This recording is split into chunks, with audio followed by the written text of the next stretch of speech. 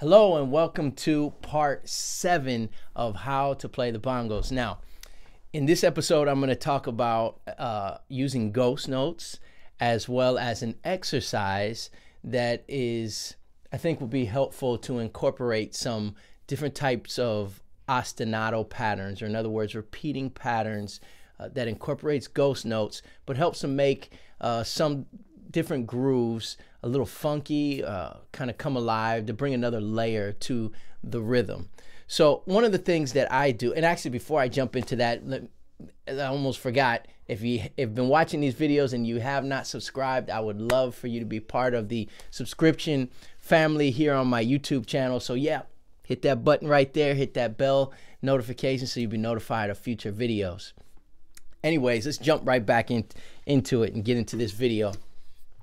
Now, one of the things that I often do when I'm playing bongos is emulate a lot of what happens on the drum set in this particular context. A lot of what I've been talking about in this series has been either with the martillo in the Latin context and, or a contemporary pop like rock context.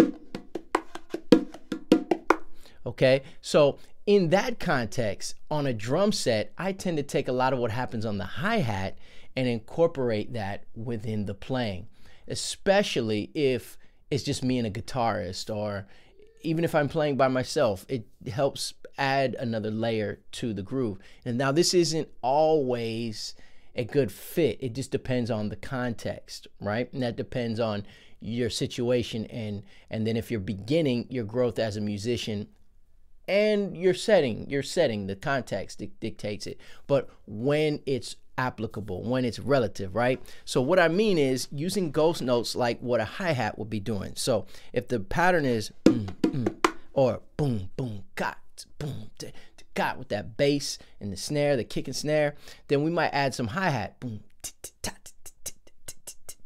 right so you have that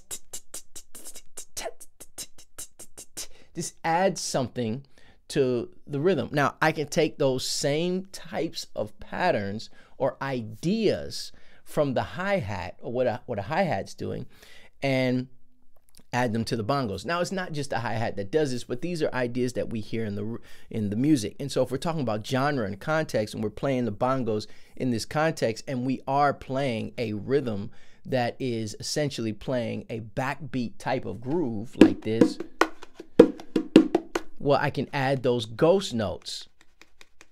Now, I've talked a lot about this with the cajon. So there's, if you go back and look at my cajon videos, you can see where I talk about ghost notes, ostinatos, and, and these fingertips, adding that. But anyways, so here is, I'm to play a little bit and I'm to add some of these ghost notes. And then I'm to show you an exercise that is actually like a groove that you can use to practice this.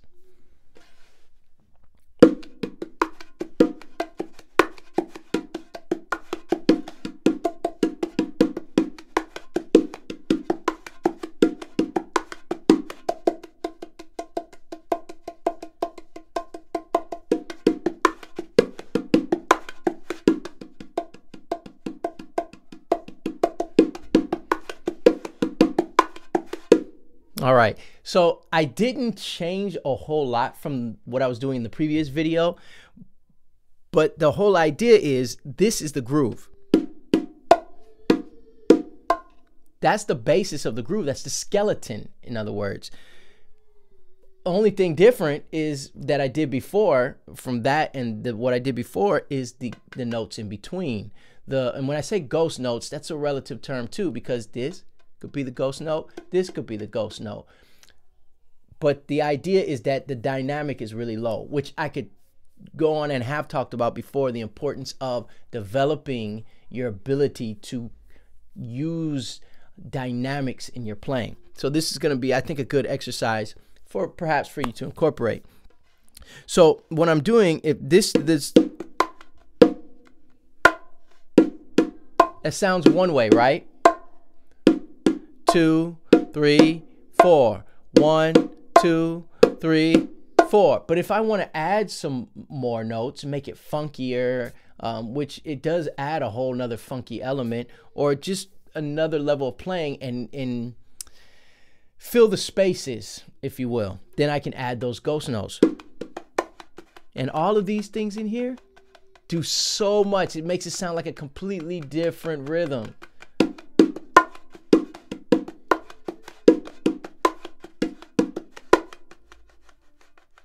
But I'm basically doing the same thing as this. Or that is with the ghost notes added, I should say. So here is a groove that is like something you might hear on a hi-hat that you can use as an exercise to develop this.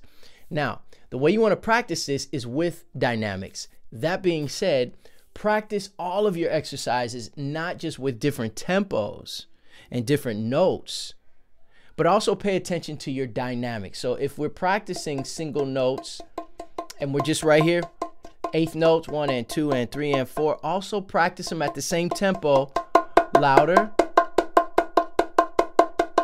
and then softer. Practice them gradually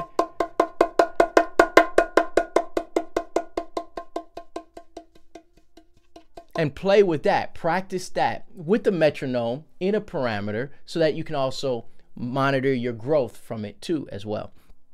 So here's a, here's the the pattern. Basically, you're going to play two notes, left right. Then you're going to play another note and right after that double on the other hand and then do the same thing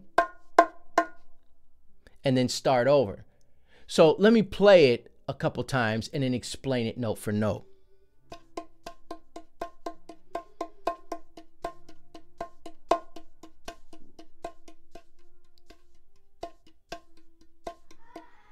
Pretty basic, right?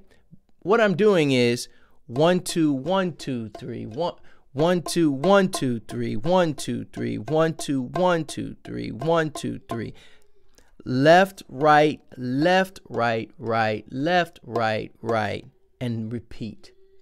You now you can switch it up, make variations. Left, right, left, right, right, left, right, right, left, right. Added a left, right. Then left, right, left, right, right, left, right, right, left, right, left, right, left, right, right, left, right, right, left, right, left, right, left, right, right, left, right, right, left, right, and repeat. So that's an additional grouping of two. One, two, one, two, three, one, two, three, one, two, one, two, one, two, three, one, two, three, one, two, repeat. One, two, one, two, three, one, two, three, one, two. So that sounds like this, looped over as a loop, a continuation.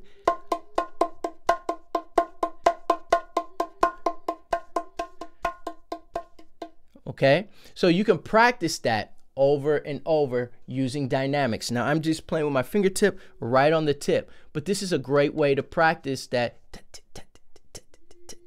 and you and practice it soft, very soft. So if this is that's another thing, which is a whole nother lesson. How soft shall we go? Well, you want to practice different dynamics. So set your dynamic level. If this is going to be what, let's say we're practicing eighth notes, and we don't want to be at full volume, find out where your full volume is before you're putting too much effort, not staying stiff now, but too loud hurting your hands. You're practicing over for what we want good technique, but not playing too hard. But find out where your loudest, almost loudest, loud dynamic is. Then go all the way down to where you're barely touch, barely touching it. Then try to find somewhere in the middle. And take that middle part and practice that for a whole minute. Then go down to where you're barely touching it. Practice that for a whole minute experiment with this, write it down what you did, and then build from there. So that's just one idea, basically the and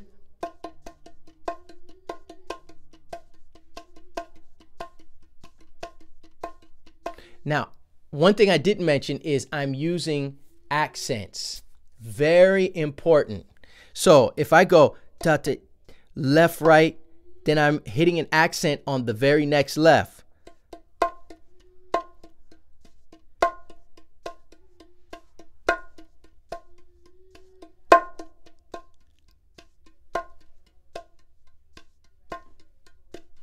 See that? Right? And it becomes a groove all by itself. So into the groove from before and this exercise.